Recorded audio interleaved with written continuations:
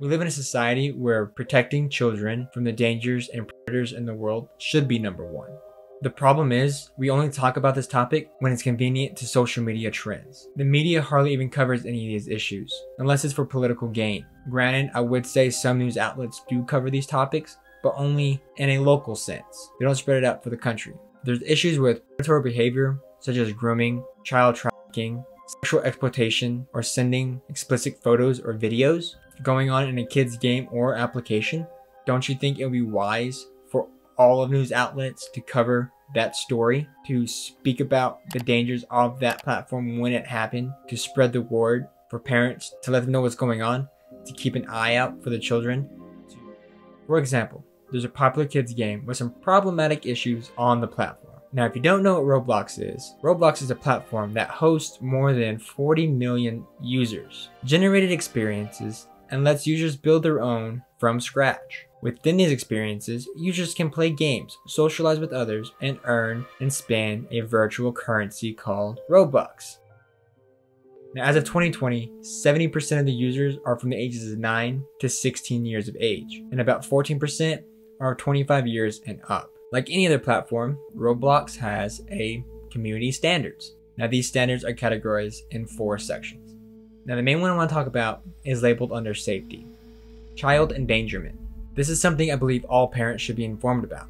Roblox has zero tolerance policy for endangering children. This includes any predatory behavior, including attempting to befriend a child in order to manipulate and exploit them, i.e., grooming, sexualizing children in any way, engaging in sexual conversation with or soliciting sexual material from minors, sharing, requesting, or discussing child sexual exploitation imagery, sexual content. Roblox does not allow sexual content or activity of any kind. This includes content that depicts, discusses, or suggests sexual acts, nudity. Now the key points I point out here are the main ones I'm going to be talking about in this video. That's why I excluded them from all the others. And parents should really know about this.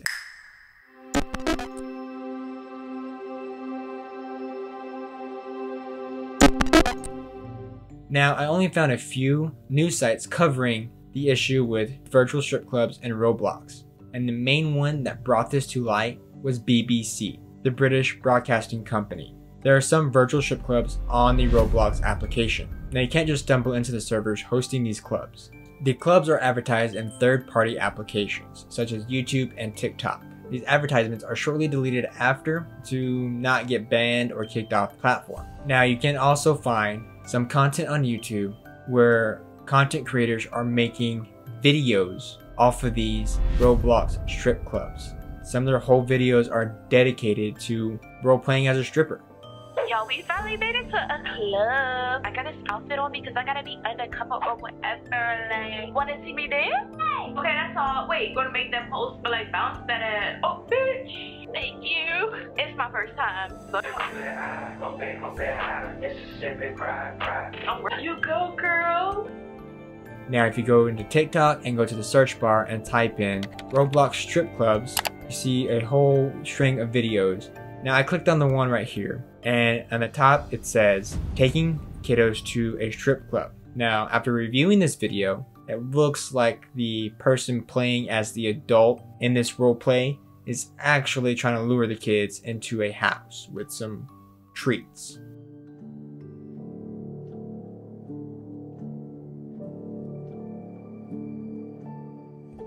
Now I clicked on another one and you can see it's advertising for a Roblox strip club. And if you scroll down the community section, you can clearly see it says NSFW. That stands for not safe for work. Usually when something says NSFW, that means there's explicit content on that server. As you can see, it's easy for kids to see these videos and think these are cool servers and they go and click on the link and go to these strip clubs and it puts your kid in danger depending who's on that club server.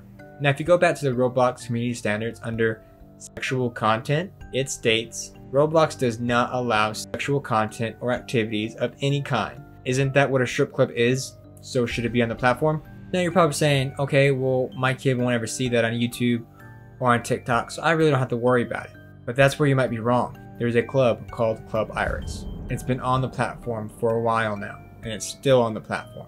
I made a Roblox account to see if I could get into Club Iris to do some investigating reporting. I wasn't allowed in the club because it said my account was restricted because of my age. But when I signed up for Roblox, I put my actual age into my Roblox account. This had me thinking that maybe my Roblox account is too new to be able to be allowed in this club. But if you look at the age on the server for the club, it says for all ages. So when that didn't work, I did some more digging. I found some Reddit posts to get an insight on what's going on at Club Iris. Now the post we're looking at now has been taken down, but you can still read the title of the post on what it's talking about. I caught a 19 year old asking girls under the age of 16 to dance on him in Club Iris, a pedophile I have found. Now, the other post on Reddit goes into more detail in Club Iris, and here are the highlights of that post. You have Shirt Skin saying Pornhub, along with an 8th grader giving a lap dance. Users going up to other players saying, I will your whole family. At the end of the post, it states, the amount of clothing that could be sexual and the number of adults and teens on the game who can be currently doing stuff to a child is crazy. You might not be a pedophile, but you could have had sexual roleplayed with a child because you don't know the age of anyone on the internet. I will say it again, this server is still on the platform. Do you think Roblox is living up to the community standards?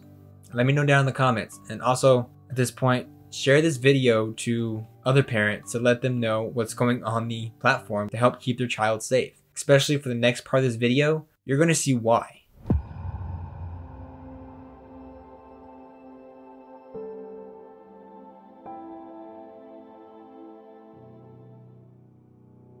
Back in July 2022, in Wilmington, North Carolina, an 8 year old girl was a victim to child grooming. She was on the chat feature of Roblox when the person she was chatting with asked her for her phone number. They could be saying she shouldn't have gave her number out, she should have known better, etc., etc. But that's the thing of child grooming. The predator gains the trust of their prey, having them think that they are their friend, and they end up trusting them. It's sad to say we live in a world today where we can't trust anyone. The mom said the conversations got worse in text messaging. They kept asking for hot videos.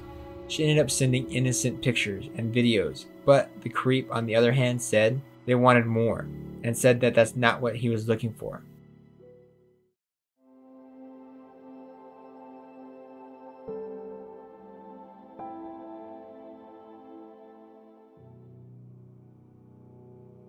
In February of 2022, 33 year old Howard Grand drove 13 hours to kidnap an 8 year old girl he met on a well known Roblox app. The messages started about the 18th, and within 48 hours before she was kidnapped, he groomed her into running away from home. Howard introduced the little girl as his stepdaughter to his roommates. Within a couple of days of being there, she finally told Howard's roommates the truth that she was not his stepdaughter. Now they instructed him to get rid of her and drop her off outside of the Dollar General in Clayton County. She was found on the 24th after sending her mom a message on Roblox informing her where she was. Howard was arrested that Tuesday at work, charged with rape, kidnapping, and sex trafficking.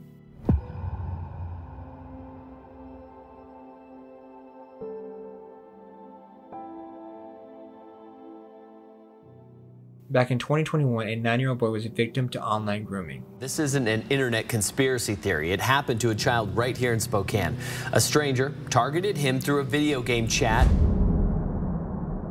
To gain the trust of the nine year old, pretending to be his pastor for the next four months, the chats between the two got darker and darker. The predator found out the young boy had someone close to them commit self-harm and he used that as leverage with threats to get explicit pictures and videos. He got the boy to introduce him to a 9-year-old girl, but she refused to send the predator anything. She informed the guidance counselor.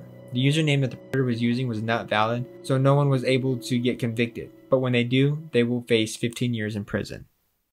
How many parents out there have heard of these stories, has heard of the news about child grooming, and strip clubs on Roblox. There's not that much news coverage about this. There should be more. If you're a parent, share this video to other parents. I hope this video was informative for you. I hope this helps keep your child safe. I'll see you in the next video.